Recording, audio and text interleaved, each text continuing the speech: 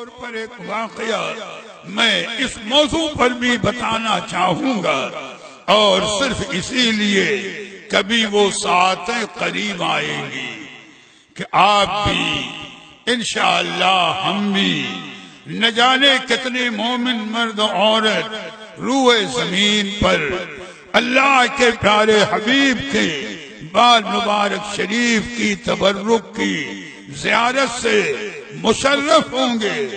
رب تعالیٰ یہ نعمت ہمیشہ ہماری قسمتوں میں باقی رکھے۔ نوازے ہماری نسلوں کو بھی یہ شرف حاصل رہے۔ تو بات اس لیے عرض کر رہا ہوں کہ زیارت کے موقع پر میاں ادب کا دامن چھوٹنے نہ پائے۔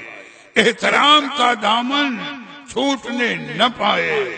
تعظیم و توقیر کا دامن چھوٹنے نہ پائے۔ تو دیکھو ایک واقعہ کہ بال مبارک شریف کی شان، عظمت، میرے آقا حیات النبی، نسبت رکھنے والی ایک ایک چیز میں زندگی ہے اور حیات۔